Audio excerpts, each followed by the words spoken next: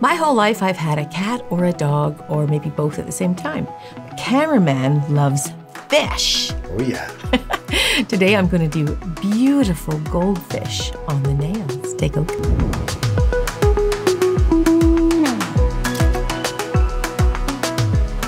Detailed looking, right?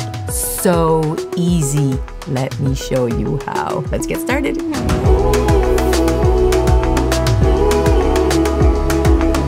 So I've got these beautiful long almond nails and I've got to just put some base down there. And I've got the white. Now the reason why I put white down before I do a color is because it makes it pop.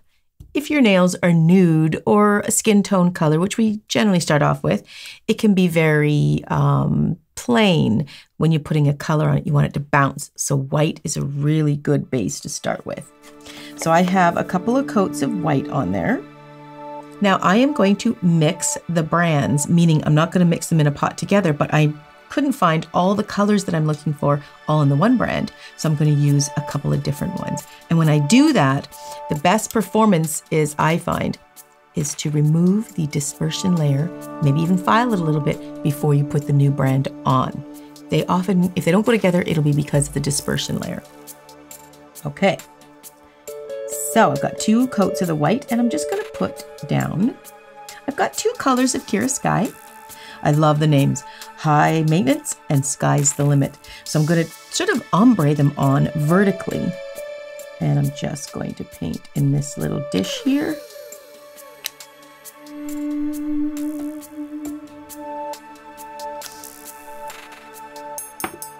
And you just need sort of a wider brush. Oops, other end. In this case, I'm using wildflowers. And I like it because it's wide enough that I can ombre the two, like blend the two on the brush. You don't have to get too picky with this. You can use the brushes from the actual polish and use it to blend. Just make sure you clean it before you stick it back in the bottle because it might have a mixture of the color and you don't want to put it back in your bottle. So I'm going to do one side, I'm going to put the green on. As you can see, I do want it to be quite soft, almost pastel. And then I'm going to put the blue on the other side.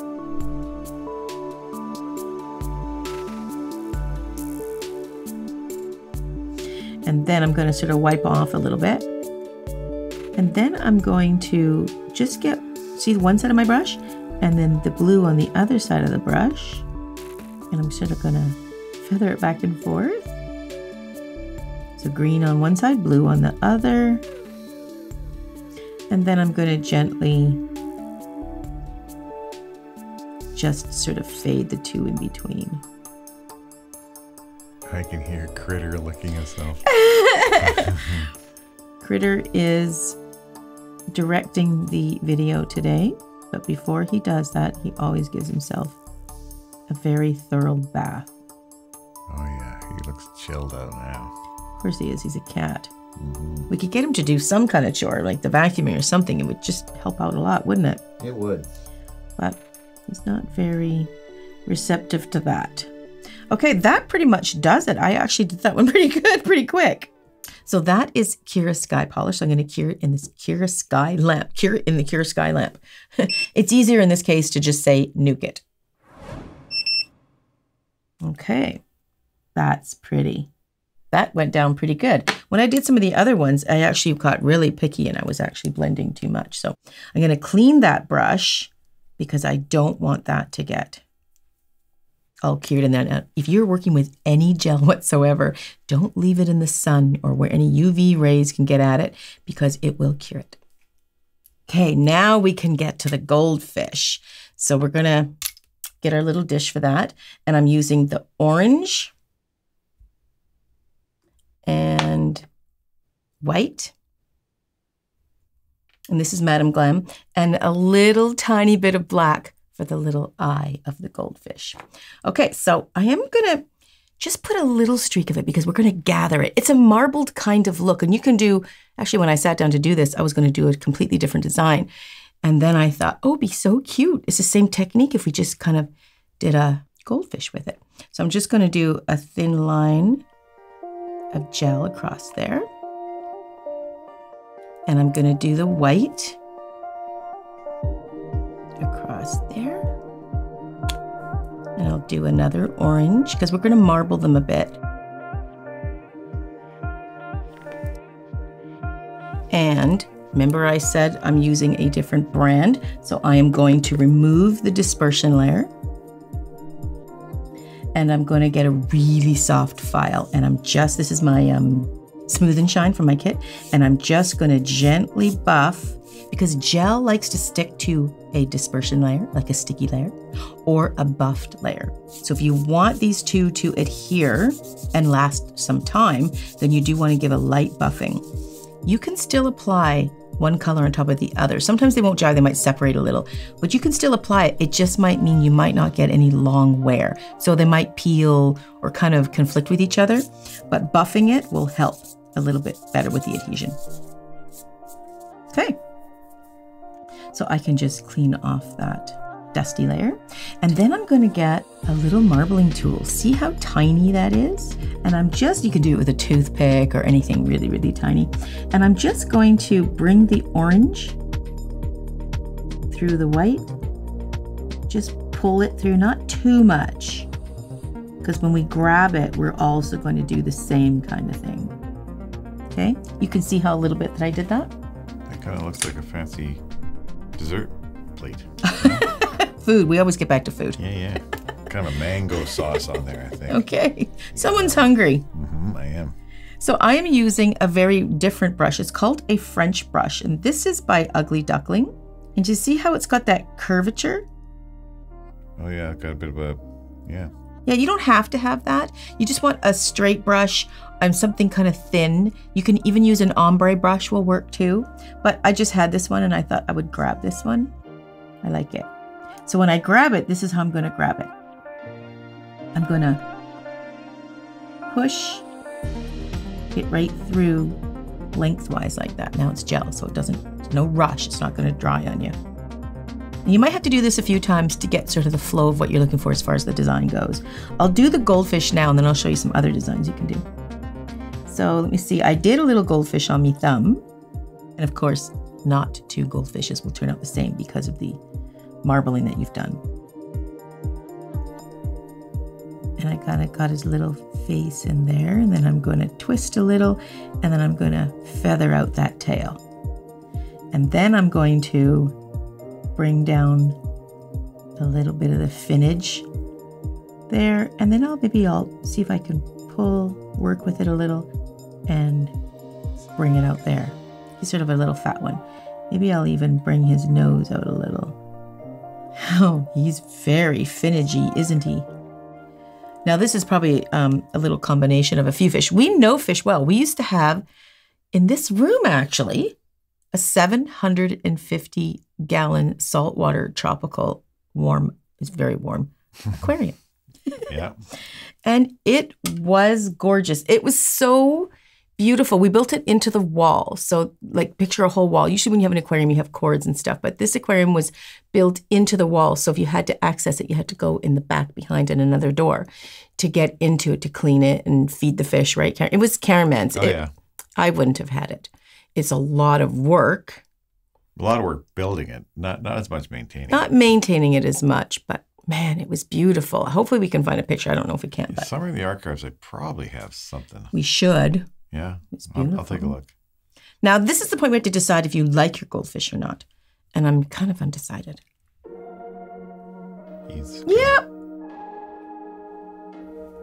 the tail's cute. So I'm going to gather another bunch. And maybe I'll do, maybe I'll move this and see if I can do a goldfish where it's swimming with its head down and tail going up this way. Like I say, if you don't like it, you can just erase it and do it again.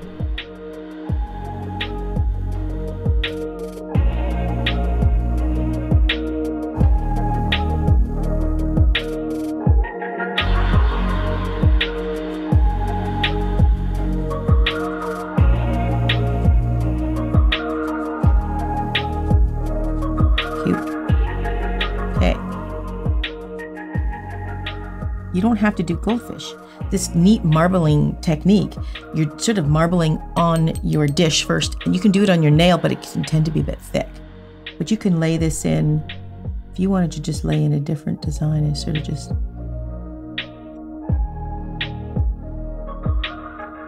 right? It doesn't have to be a fish. I just, when I was doing it, I just noticed, ooh, that'd be kind of cute. I mean, you can change it, right? You could do all sorts of different, you could change the colors. You could, it could be a very, very different design. But I'm going to take that off because my whole theme here is fish. Be a school of fish. Yeah. Okay. So once you get the fish that you like, I do suggest you want to give it a bit of a nuke because if you don't, you might gunk it. And you don't want to do that. And we're going to paint some little white lines on top. Just going to give that a bit of a nuke.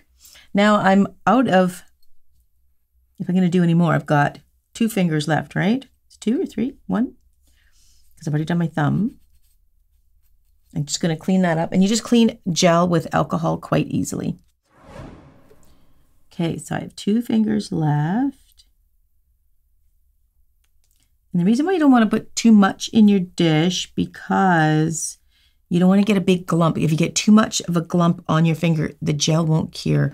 Gel doesn't like to be thick on the nail, so you do want to keep it on the thinner side.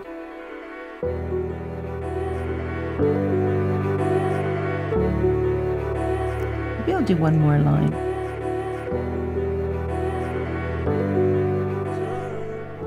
And don't forget your little dotting tool.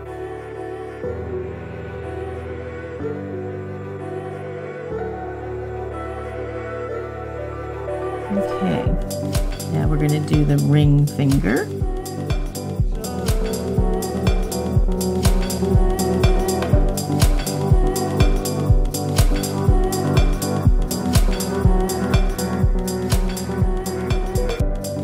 Now, I never checked actually to see what a goldfish really looks like. This is just from my memory, so I'm sure it's not very accurate, but as long as you can get close enough, people will just understand that it's some sort of goldfish, or at least you think it is.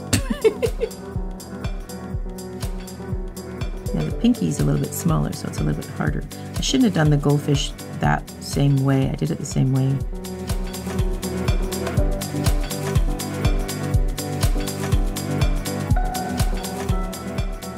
So because I don't like the ring finger, I think I might actually do it again. What I mean is that these two are just leaning the same way and I kind of wanted a bit of a different varying. So I'm just removing that with some alcohol. And I do have enough in my dish to try it again. That's one of the nice things about gel versus polish, right? Totally. You could do this with polish. You just couldn't take the time like you're doing. Like we're taking a fair bit of time. Having said that, I'm just going to nuke that pinky because um, I don't want to bump it. Smudge it. Yeah, I don't want to smudge it. This aquarium was so big that one day I could not find Cameraman anywhere. Do you remember that? I could not find him anywhere. And it turned out he was inside the aquarium Yeah. to clean it. You had to get in it to clean it. It was eight feet long, four feet tall, and four feet deep. So you literally, it was so big, you had to get in it to clean it. Okay, so I'm going to gather up another, and I'm going to try to lean this fish a bit of a different direction. Maybe I'll start his little head over here. And, oh, I might be losing control of this bead. No, I did the same thing. You did the wrong Yeah. way again. I seem to be upside down here. So I'm just going to clean this up. That's another thing about gel. It's just so easy to clean up. And again, there's no rush because it's not drying on you at the same time. It only dries when you put it under the light. Okay, so I'm just going to get another bunch of gel going here.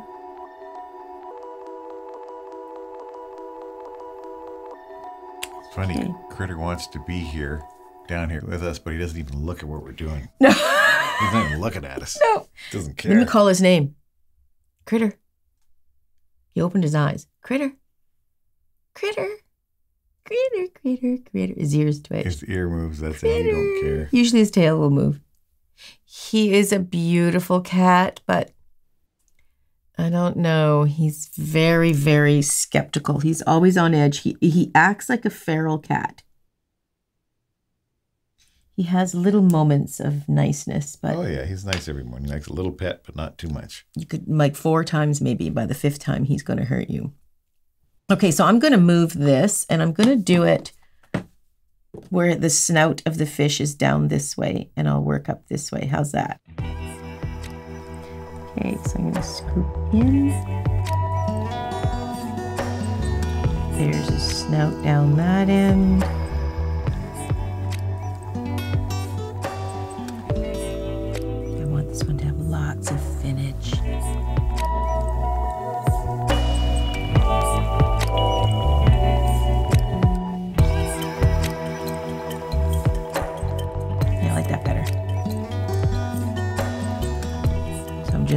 Shaping it a little bit better. Okay, cute. Okay. So now I'm just going to clean my gel off me brush. And I'm just going to need a little white and a little black just for the tiny little details, just so we can identify that it's actually a fish.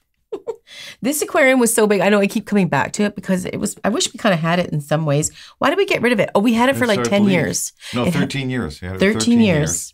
I built the aquarium. My You- dad and yeah, I built it. You built it. and uh, had a little tiny years. leak. So we were going on a trip to Hawaii, and it was a lot of responsibility to leave it to somebody else, especially if it had leaks. So we actually made a decision and got rid of it, didn't you? took it down. Yeah, it was a tough decision, but It was. When they were gone, I didn't want to leave somebody else dealing with a giant Mm-hmm. flood from a 750 gallon aquarium.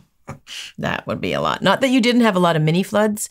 I remember Well, waking up in the middle of the night, where's Yeah. Cameron? And then I would hear slosh, slosh, and a lot of swearing. and then you find out that he's knee deep in water. uh, knee deep. I Never. I s- most I Good- ever lost is five gallons. good couple of inches. Well, you're knee deep when you're inside of it. It was so beautiful. Actually, when the kids would go to school, they would mention to their teacher, and we actually had little kids come, like field trips, to see it. Remember that? Mhm. It was so cute. Yeah, it I was like liked a that. little uh, That was aquarium tour. Yep, a little aquarium tour.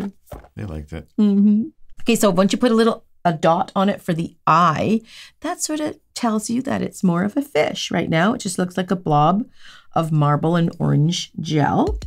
So let's get the little eyeballs on there. So where you put the eye just sort of gives you the impression of which side of the fish is up. now this one's bigger, so I'm going to make a bigger eyeball right there. and a little tiny one there. Ooh, a little bigger. That was tiny. Okay, and where the white comes in, I'm going to get my striper. This is a striper brush, and this is from Ugly Duckling. And I like it because it'll create some nice long shaping for the finnage. So I'm to saturate that brush with some white gel. So remember, we've we've cured it. So you can paint on top of this. So right now I'm just sort of defining the fish. So I'm just going to sort of put some white lines to exaggerate the finnage.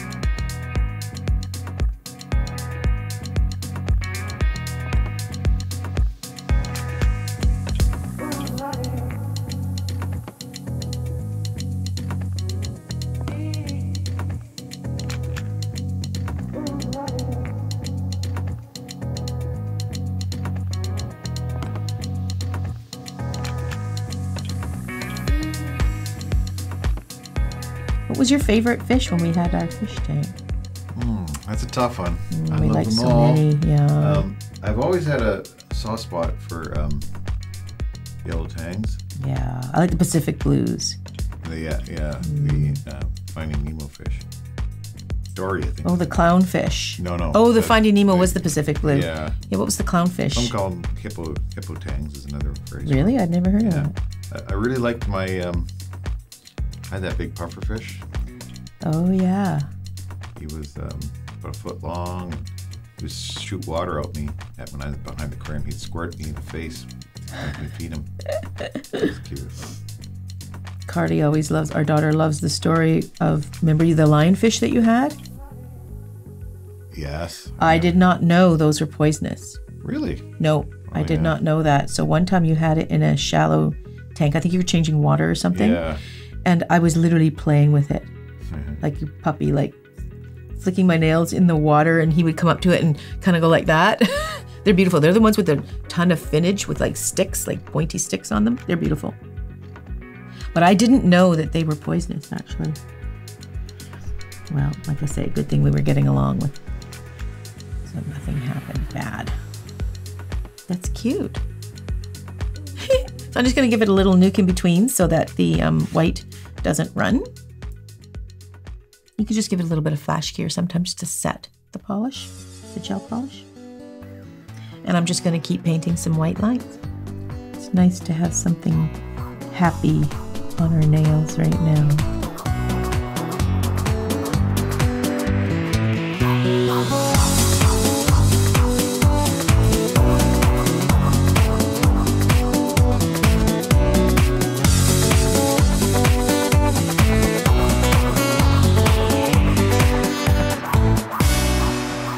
Okay, so I'm just going to, I still think my thumb might have been the best one that I did. Yeah, he's good. I think sometimes when you do design, sometimes you can overthink it. He has longer snout. Actually, I'm just going to top coat it now and then we will look at the reveal shots.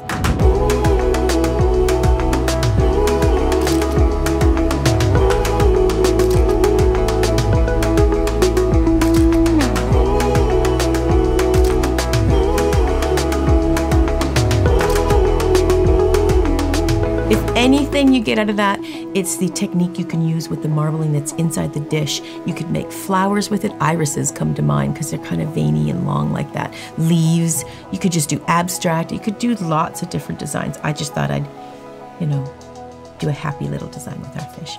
Well, thanks for joining me, you guys. And I just want to mention if you're subscribing to my channel, don't forget to click that little bell because a lot of people have told me that they don't actually get a notice. They didn't know I had a video up if you don't click that little bell. Catch you guys in the next one.